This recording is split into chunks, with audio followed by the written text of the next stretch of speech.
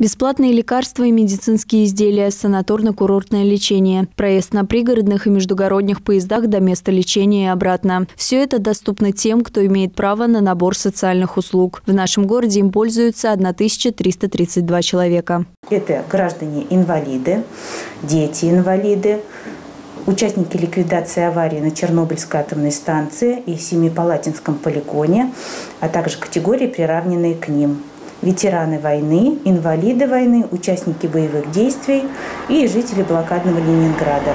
Люди, которым положен соцпакет, имеют право от него отказаться в пользу ежемесячной денежной компенсации. По Сарову она составляет 1155 рублей. По словам врачей, отказываясь от льготных препаратов, пациенты часто совершают ошибку. Как правило, это пациенты, имеющие серьезные заболевания. Стоимость одного препарата достигает нескольких сотен тысяч.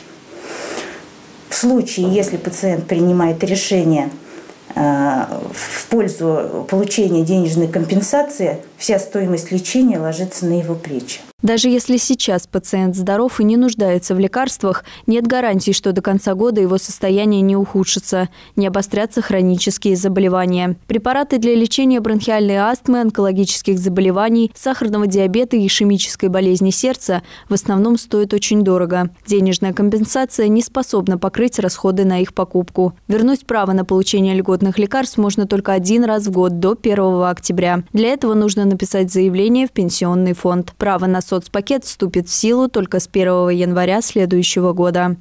Дарья Козина, Евгения Шевцова, Сергей Рябов. Служба новостей Саров 24.